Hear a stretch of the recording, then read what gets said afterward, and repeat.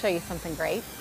We all have Cardinals on our mind right now. Three-year-old Riley is the son of one of our morning show producers, Jessica O'Toole.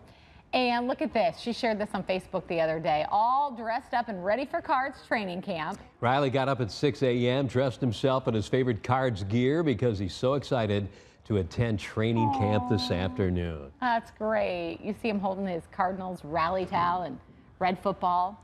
He's going to have a fun day today at practice. So we'd love to see uh, your Cardinals fan love pics. Uh, post on social media and tag us hashtag Fox 10 Phoenix. Okay. Okay.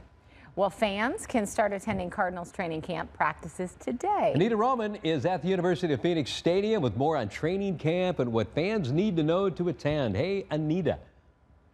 All right, I'm being extremely brave this morning because not only am I afraid of birds, I'm kind of um, not really comfortable when I can't see someone's face, so like clowns.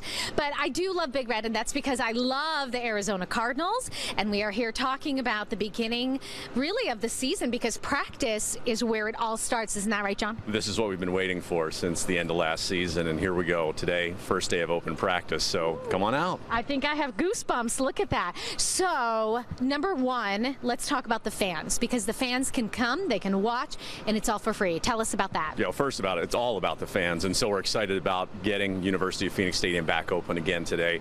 Uh, 1.30 is when the doors will open up. Practice will start after 2 o'clock. Be a fun afternoon, and temperature inside is a lot nicer than outside. It's very, very comfortable. Uh, the parking lot's open at 12.30, and they are also free. Absolutely. Free parking, free admission, lots of fun things for the kids to do uh, while they're here, while the adults are watching practice go on. Let's talk about security. We want everyone to be safe. We want everyone to follow the rules. What do people need to know if they're coming in? It's pretty similar to Cardinals game day, and for those of you that haven't been out to Cardinals game day, we do use uh, magnetometers as you come in. So we'll do a quick screen on the way in, and then of course the clear bag policy. Just bring what you really needed. It just makes it that much quicker to get in through the stadium. All right, so there are 16 practices, if I'm not mistaken. So all of them will be open to the public. Absolutely, all open, all free. Um, pretty much all the times, right around two o'clock when it'll start. Mm -hmm. And if mm-hmm. there are any changes, the Cardinals website is the best location to ah, keep current. Okay, fantastic. He's following me, you guys. He's following me. Um, so not only can kids actually get autographs from the players uh, after practice. They can also head into this really cool kid zone. You know what? What we do is um, right after practice, a lot of the players will sign along the wall, but we actually have a special autograph session for the kids as well, and that's one of the things they can sign up for when they're here. So really, kind of two different opportunities. All right. And so I, I earlier challenged you to a little run through, and you said not a chance. Not a chance. But you know what? Big Red and I, right? Here we go. Here we go.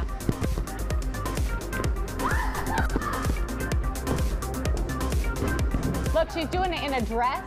And heels. And she had heels on? Yeah, well, they're her, her platform uh, uh, sandals. So, yeah, she's doing Look at okay, her so go. What you think? I think it was pretty good, but I think from the standpoint, Bruce might have a couple. I w- I wouldn't make that. the cut, would I? Uh, yeah, there's a pretty good chance. Probably not. Probably not. You never know. Maybe next year. Practice today. Don't miss it. There's always next year. Way to go. And she's already ran, by the way, this morning. So, like, she already got her exercise. That's just the icing on the cake. Does she still get up at 2 a.m. or 1 a.m.? She still gets up at 1.30 and runs before she gets run. in at 3. Yeah.